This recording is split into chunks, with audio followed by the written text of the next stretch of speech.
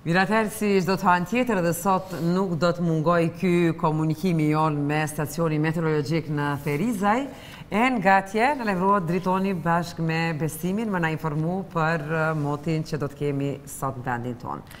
Mirëmëngjesi, përshëndetje për ty Driton. Mirëmëngjesi, Besim. Mirë.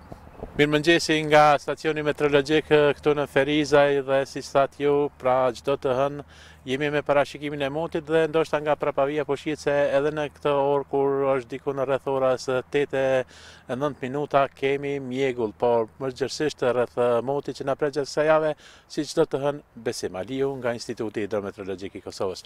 Besim, mirëmëngjesi, ke përshëndetje edhe nga studio. Mirëmëngjesi, përshëndetje për ju, Për gjithë ata që na përcjellin, sigurisht edhe për ata në studio. Ata çfarë moti na pret gjatë kësaj jave? Po do të jetë një mot kryesisht i vranët dhe me intervale kohore me diell. Mëngjeset do të jenë kështu do të thotë me mjegull për shkak të këtyre temperaturave që do të jenë në mesditë, do të thotë do të kemë kondenzim të ajrit dhe si pasojë e kësaj do të do të ndikojnë këto ndryshime fizike dhe në mëngjes do të kemi mjegull.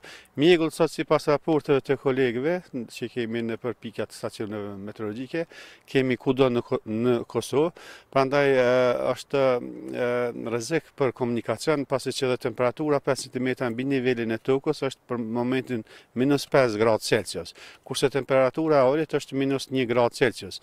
Gjatë javës temperaturat do të lëvizin nga minus 1 deri në plus 1, minimalet kurse maksimalet nga 6 deri në 11 gradë Celsius.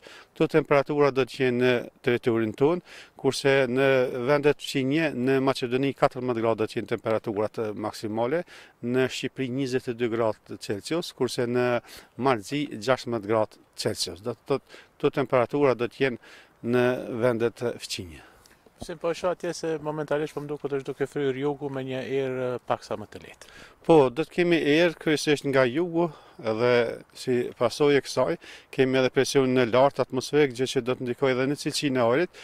Gjatë javës do të kemi shpejtësinë e erës në deri në 7 metra, diku 6 metra për sekond, por nuk do të kemi erëna të fuqishme për shkak të presionit të lartë atmosferik dhe këtyre elementeve tjera të cilat janë do të thotë elemente të themi që krijojnë një mundësi që të kemi një mot kryesisht të qetë. Të martën nesër parashihet që pasdite të kemi vranësira të dendura, të cilat vend e vend do të shoqërohen me reshje shiu. Përndryshe pjesa tjetër do të thotë e javës, ditët tjera nuk parashihen të kenë reshje, të paktën deri ditën e premte. E në viset malore? Në viset malore, përderisa në viset e ulëta kemi reshje shiu, atje mund të kemi reshje shiu të përziera me borë, po jo borë e pastër sikurse ka shumë ditë më herët. A mund të themi, apo është herët të themi se mund ta presim 2023-n pa borë? Në bazë të imazheve satelitore nuk parashihet që të kemi reshje bore, domethënë për këtë ndërrim të motmoteve, pasi që vendi ynë është në ndikimin e këtyre masave me presion të rritur atmosferik dhe këto masa sipas tablës shihen se do të jenë stabile përgjatë gjithë javës. Por më konkretisht të premten mund ta dimë saktë, po? Po sigurisht, sigurisht. Besim nëse nuk ke për të shtuar diçka tjetër, unë të falënderoj shumë për këto informacione që i solle rreth parashikimit të motit. Faleminderit nga ju, punë mbarë. Pra ky ishte parashikimi i motit nga Instituti Hidrometeorologjik i Kosovës, gjithsesi nga stacioni meteorologjik këtu në Ferizaj. Driton, faleminderit shumë edhe ty dhe Besimit, sigurisht nuk e di nëse do të jetë kjo paraqitja e fundit, për këtë vit ose do ta kemi edhe një paraqitje mbase në ditën e fundit të, të vitit me 31 dhjetor, po sido qoftë, faleminderit për bashkëpunimin Besim Aliut nga Instituti Hidrometeorologjik i Kosovës gjithmonë, edhe këtë vit gjithashtu për ty normalisht gjithmonë fjalët më të mira si koleg punëtor.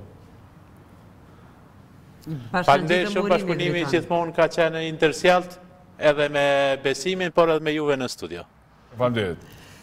E krejt të mirat, edhe në vitin që vjen, e sigurisht edhe me uru edhe me vazhdu me qenë të tillë. E dimë që Instituti Hidrometeorologjik i Kosovës vërtet tashmë është i pajisur me fjalën e fundit të teknologjisë edhe jashtëzakonisht të kujdesshëm në informacione, në ndarjen e informacioneve edhe gjithçka që ndodh sa i përket motit, parashikimit të motit, plus edhe kualitetit të ajrit janë të dhëna që i marrim në kohë reale.